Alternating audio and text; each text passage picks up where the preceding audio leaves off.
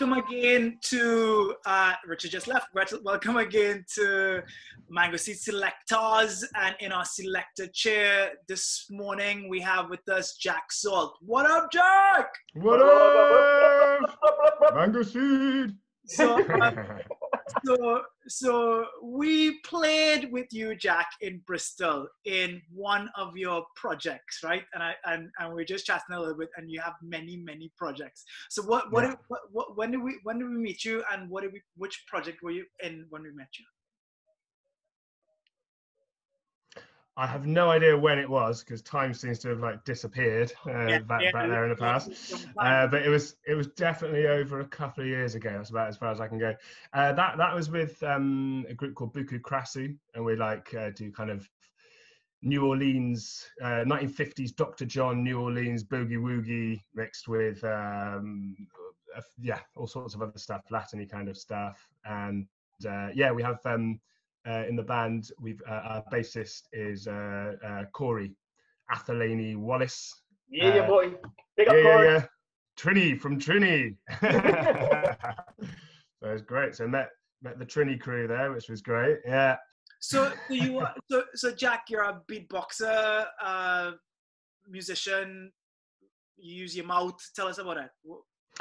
Um, yeah, so I play. I mean, I'm uh, primarily a beatboxer, uh, and most of most of what I do with music actually is um, acting as basically the drummer, but the mouth drummer for bands that uh, that uh, can't afford a drum kit, you know, or don't have a car to take it in. Uh, so uh, yeah, that's uh, I'm involved in a few different projects doing that, and I, I also sing as part of a, a 72 piece contemporary music choir as well, where I sing and beatbox.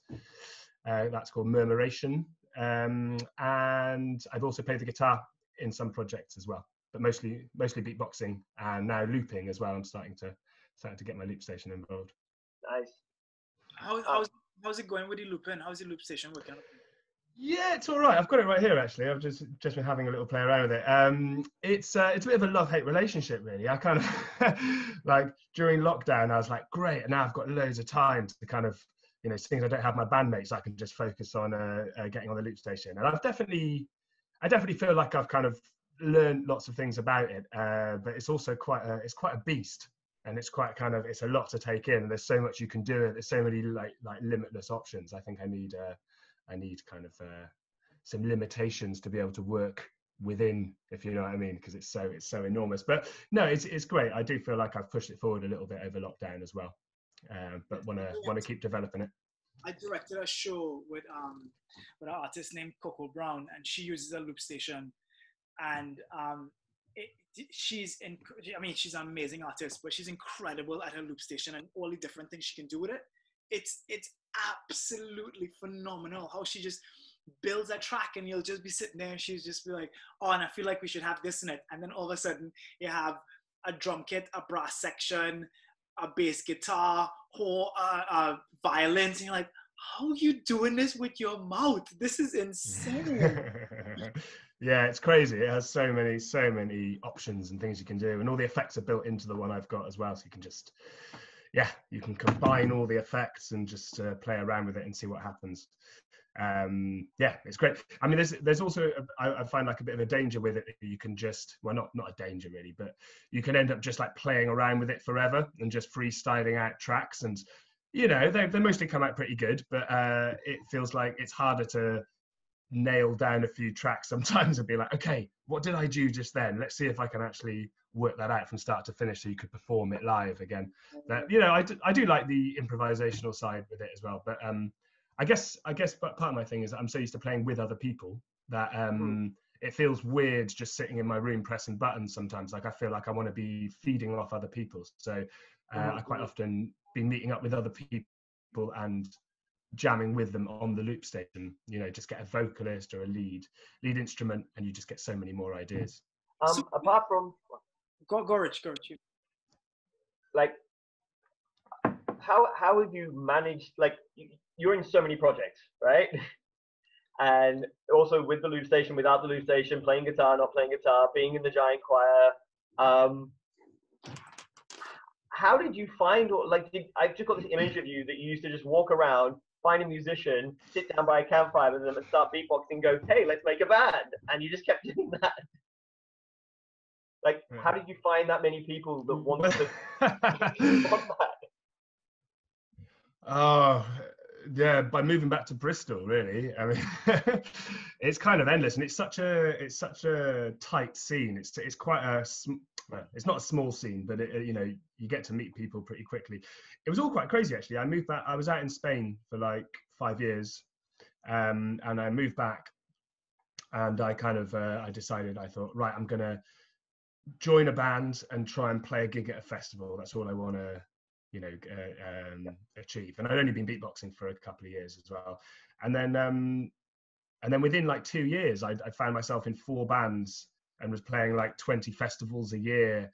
And it just it just exploded. I think i think i went from no bands to three bands in about a week.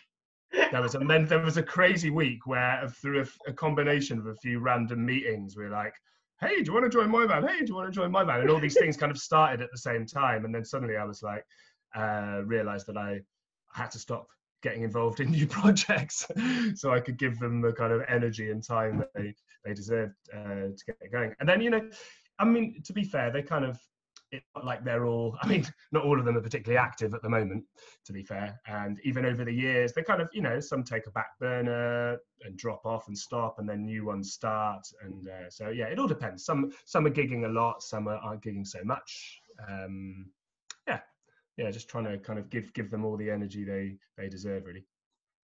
Can I ask you something? So so you you are the the drum kit, right? The drum kit and the drummer in a in a particular project, right? How, how what does that what does that feel like being being because the, the drum is a pretty important thing. You're holding down all the all the, the, the, low end and the bottom end and, and you're driving the whole thing forward. What does that feel like to, to, to not to one, not have the kit, two, to, to be that, to have that responsibility for so many different kinds of genres and so many different kinds of music? Well, I guess it feels like what it does to be a drummer. I mean, it's it's kind of funny, really, because because it's not the most, it's still not the most common thing. I'm kind of quite surprised there aren't more beatbox led bands like uh, driven bands to be honest with you. Like for the number of beatboxers that there are in the world these these days and so many seem to still be just doing very much solo kind of things.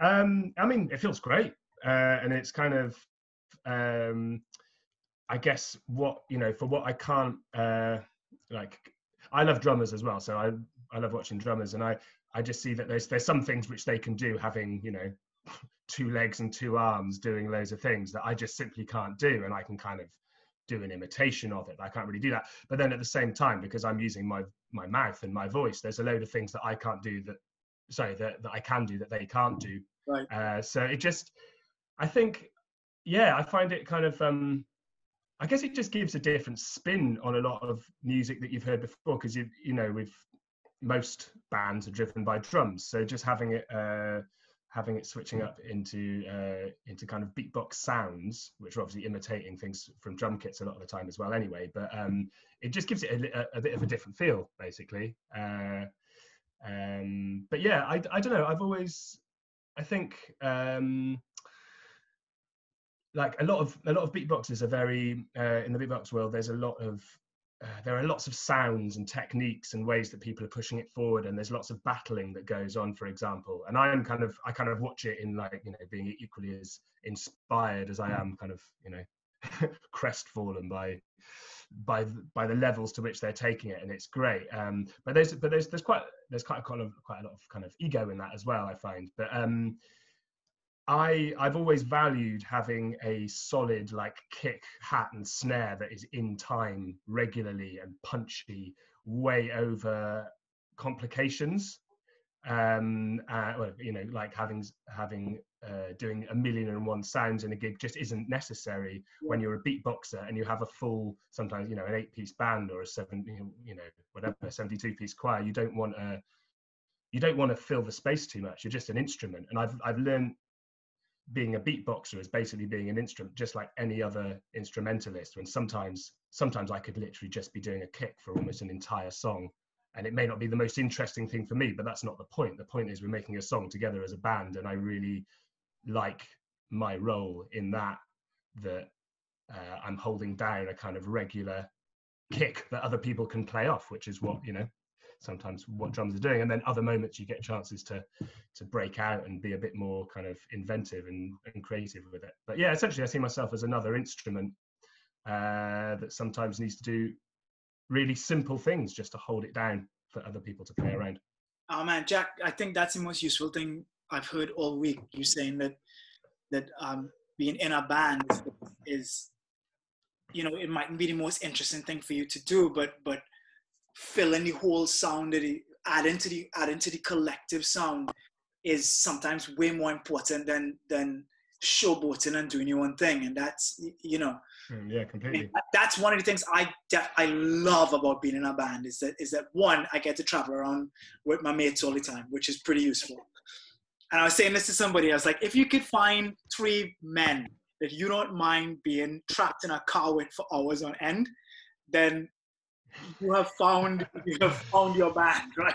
and we travel all yeah, yeah, yeah. We travel all over the place, and I feel really pleased about that. But also, to just like be be involved in creating the overall sound of the band, and not trying to just do your own thing. If you want to do that, you could you go and be a solo artist. You know what I mean? Yeah, completely. You know, it's that that's the beauty of it. You know, you want to you're it's it's not about it's not you know hopefully not about ego and not about just showing what you can do. It's it's it's what you create together. I mean i know it sounds cheesy but it is literally that. And it's like you can get so much joy from even if your part is the most basic thing in the world the fact is if you're creating beautiful music around that then i'm like more than happy to just do exactly. that and nothing more. And sometimes i mean i can't remember who who it was that said that it's like it's not what you play it's, it's what you don't play you know that that that kind of thing of being with experienced musicians or people in a band when sometimes sometimes I just literally stop and don't do anything because I think I think it would sound better without me. Even when you know when I'm playing with bands or in jams or something like that, because often I get this um because people aren't so used to beatboxers being the drum being the drums that sounds like a stupid thing but like in in a in a jam sessions uh, uh, situation it's quite hard if there is a drummer there to get them to be like okay I'm a I'm a drummer too. um, can you stop playing for a bit and I will just hold it down?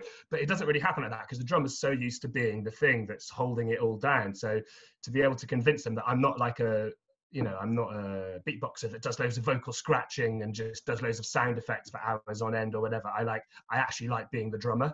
So sometimes it works really well and you can kind of complement each other just as drummers can do and you can play play both at the same time you find how to fit in the gaps or sync up sometimes. But sometimes i just literally just drop out and do nothing and i'm like right this doesn't need it like not in a bad way at all. I'm happy to sit back and watch the drummer do do his or her thing you know but not uh overly fill the space with loads of loads of beatbox and bass as well. You know that's that's the other thing as well because i've got lots of kind of bass sounds that I can do, but I'm often playing with bassists, so I kind of leave them out a lot of the time because it's just not necessary. yeah. Tell us about tell us about Ushti Baba. Ushti Baba, um, yeah, so Ushti Baba, um, I don't know how long we've been going for now, maybe seven years, seven eight years, something like that, and uh, we are. We were an eight eight piece, I think, at, at biggest eight piece with a dancer at one point, and now we're down to seven. Uh, we're um, kind of what do we call ourselves these days? We're like uh, I like to call it hardcore folk, but you know, I mean, I'm, not sure if that that really sums it up. But it's kind of like um, gypsy jungle, uh, turbo folk stuff. It's a nice invented genre that then kind of become which then becomes a genre. If you mention it enough times, it now becomes a thing. I love it when that happens. You know, when you we do, you know, and it comes on the radio, and you're just like, this is so funny how it's now become a thing because we just said it was a thing. You know, doing gypsy jungle turbo folk step. You know, like it's like, yeah, why not? Great. Um, but yeah, it's kind of um, we used to do uh, more Balkan stuff. We, we still do quite quite a bit of Balkan stuff, but it's kind of folk music from uh, around the world, really, I guess, but around uh, Eastern Europe, but also uh, um, in like Western part of Europe as well. Um, and we mix it with yeah i don't know quite a few different uh, we we do uh, originals as well so we do stuff in funny time signatures as well and it's very it's kind of like really danceable uh, folk but I hope that's got a bit more uh, intricacies than just being something that you jump up and down to. Um, it's nicely kind of uh, constructed hardcore what's- folk. Uh, what's the track we should check out? Um, I've sent you a link to um, Pope Leo, I think it's called. So, so this is our. Um, we just brought out. Well, sorry, just brought out. I. Uh, about Christmas time, actually, we we brought out uh, our newest EP, uh, and it's just come up on Spotify this week. Actually, just uh, uh, we finally put our things on Spotify, and all links, all links are down below of all the music we're going to talk about today.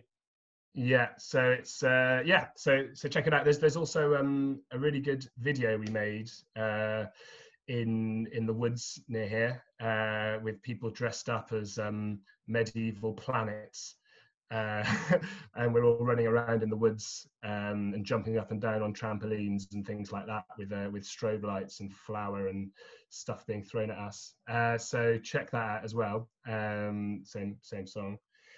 Uh, but yeah, so that's that's that's our our latest EP that we've done, which we're we're very happy with. Cool. We got it out just like not long before lockdown started as well, which is also a good thing. I've been listening to um to Industry, uh, uh Children of the Corn versus Space Robots.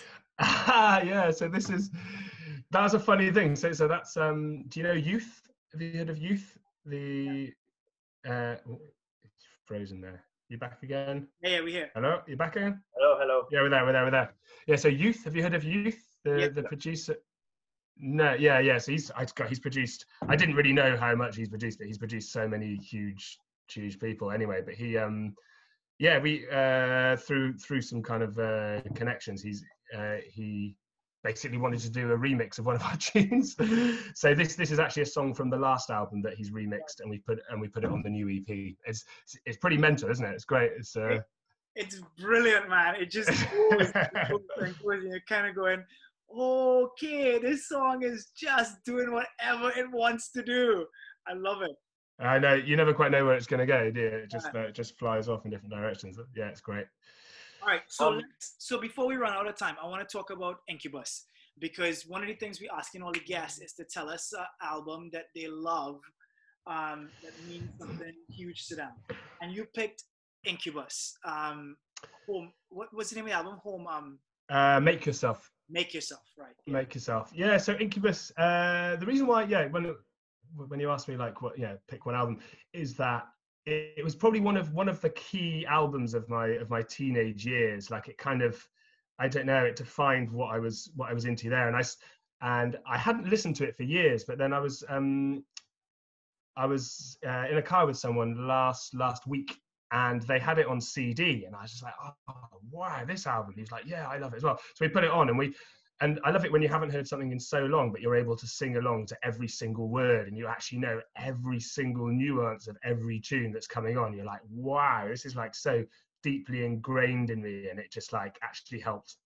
in some ways form me. I think you know as as I feel like music does, and. uh uh, ooh, are we back again? We there? Yeah, yeah, we here. we here. yeah, they're they're cool. And uh, yeah, and it just um, yeah, just transported me back to that time. We just sang our way through the album. But yeah, I think it's just a really beautifully constructed album and really well produced and just well written and yeah, I don't know, So quite Rich, catchy as well. so Rich, I see you shaking your head. Are you a, a Incubus guy too? Yep. Um, uh, I was the first person I know that had that album in Trinidad uh, when I was at university. Um, I used to rollerblade around listening to it and try not rollerblade too hard because CD players in the day couldn't handle bumps. And so I used to rollerblade around listening to that and delivering um, food from the vegetarian cafe. Uh, it was a good time. And the songs, like, they mean stuff to me and I have memories attached to them. Like certain songs, I remember being at, at a certain party and standing there and seeing someone across the way, like really, really vividly. And also, um, when when they first came out on Incubus and they did uh, the Family Values tour and a lot of attention went their way, no one in Trinidad in the rock scene liked them except for me, and everyone used to give me shit. And then this album came out, and everyone's like, "Oh my god, I love Incubus!" Why why didn't anybody like them? I don't know. I thought they were thought they. I thought people thought they were just trying to jump on the nu metal bandwagon, but I think people put them in there because they had a DJ, and then like like, nu metal. Yeah. They're not really a nu metal band at all, though. I mean, he's not. He's he's not even a rapper. Like, surely that's a, that's a key part of being a nu metal band. Okay, they got a DJ, but like, uh, it's yeah, it's it's, it's he's he's a he's a singer, as a vocalist, and it's got so much more musicality than a lot of new metal. I'll be Yep. honest with you, it feels like. Um, and another thing I really love about that album, it's one of those albums where you listen to it and you're like, okay, that's my favorite song. And then you keep listening to it, you're like, oh no, that's my favorite song now. And I think I've probably gone through about every single song in the album, switching which is my favorite song. Um, So, th- yeah, so so one of a, those question, albums. there's a question for both of you. Did it did it change change you musically at all? The album? Me, yes, because I was a full nu metal head, and I got into it because of Pardon Me, which is the most rappy. Uh, and then um, uh, it just made me realize where bass could be instead of because bass in nu metal is very or and um, it was just like these really cool bass lines because there's jazz, there's jazz in there. Consequence is a jazz song, and there's like jungle drum beats in there and stuff. So like those are things I hadn't really heard before. Um,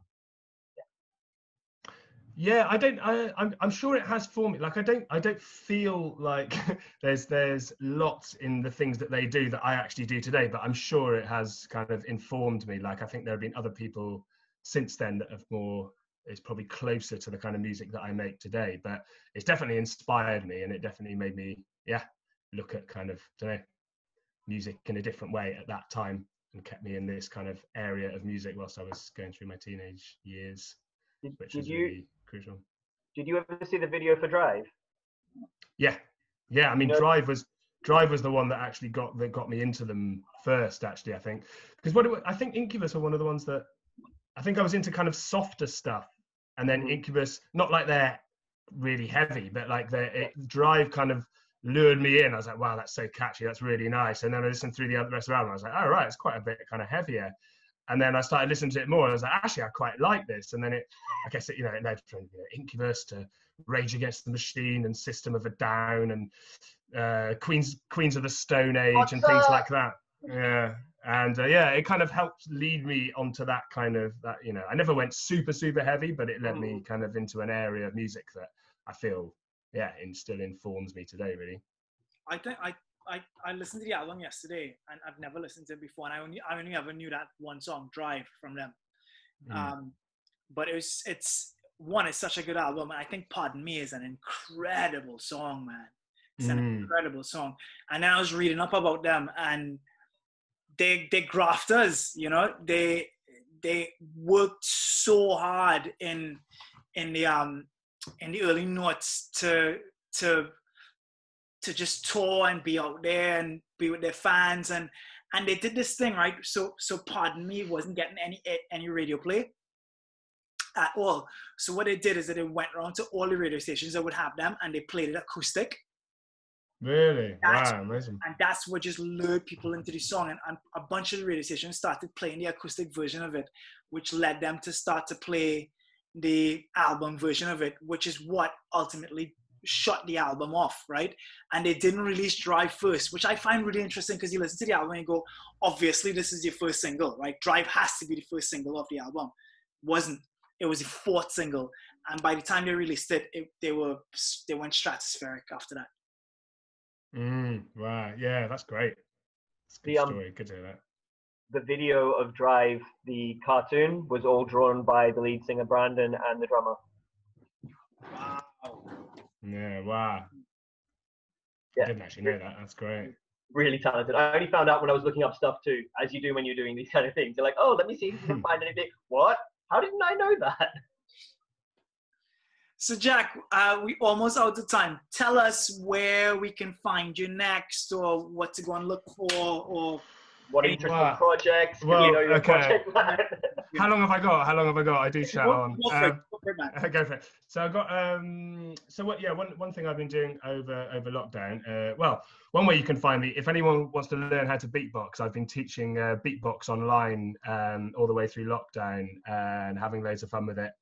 Uh, so yeah, get in touch if you want to if you want to learn how to do some beats uh, online and have some fun. Um, I've also been doing this uh, as a kind of like a folk and audio visual folk project with uh, Kesty uh, Morrison, who's the uh, lead singer of The Inexplicables and Buka Krasu. Um, and she has basically uh, rewritten uh, a load of um, folk so- uh, folk tales uh, from uh, Devon, Cornwall, Bristol, Somerset kind of area, uh, so the southwest, uh, and taken some folk songs of which I've worked out guitar and beatbox and kind of singing drones with, and we've recorded it all. And then we're getting a load of audio visual, a random load of people filming themselves whilst listening to the music, stroke uh, paintings that people have done from these places. So it's this whole kind of audio visual project that we're putting into one long video uh, with uh, Chris Lucas, who's a really great um, uh, video vi- uh, video man. I don't know what the word is. um, uh, yeah, yeah, there you go. How, how would you get in? T- how would you get in touch with you if you wanted to join in with that project, or is that timeline already? Uh, no, no. This is this is like a. This is a um, I was actually in the studio yesterday, just uh, finishing it off, just like uh, doing the final kind of mixing session on it. So this this this project is like, yeah, yeah. It's uh, it's, it's just been uh, two or three of us involved in it, uh, but it's all kind of getting coming coming around to you know it might be ready in within hopefully within the next month or the next few weeks Mhm. is what we're thinking. Um, uh, the Inexplicables uh, uh, latest um, video as well. Uh, we've we've got an EP coming with that as well, but uh, but uh, lockdown hit just before we had a t- we had a chance to bring it out in normal time. So we're kind of sitting on an EP at the moment. Uh, but this is a this is a video called. Um, called Audio Eyes, which uh, which is also made by Chris Lucas, who's the video guy for this folk project as well. Uh, yeah, What- check it what- out. Inex- What what's it about? What's it about? Because like I listened to the song and watched the video, and I've got two potential ideas of what it's about. Are you, are you the kind of band that tells people what stuff's about? Because what's the lyrical Um, content? Sorry, I, I lost you a second there. Are you talking about Audio Eyes here? Yeah, yeah. Yeah, Audio Eyes is actually about uh, sleep paralysis and insomnia. Okay. Yeah, uh, uh, the the the chorus being audio eyes, visual eyes. Don't go back to sleep. There are nightmares there. Yep. Um, so it's kind of like uh, the whole video and the whole concept of it is like not knowing whether you're awake or asleep. And I guess you can take that to as many levels as you like, really. Yeah. Um, Thanks, Jack. Thanks for hanging out with us. you're welcome. Yeah, nice chatting to you. Good to And see like you. said, everything that we talked about today is going to be in the show notes down below. Um, and all is left for me to do is say thank you, Jack. Thank you, Rich. And we will see you in the next episode. Thanks, mate. Really, thanks, guys. Take care. Cool, Boys cool, of love. cool. Selector.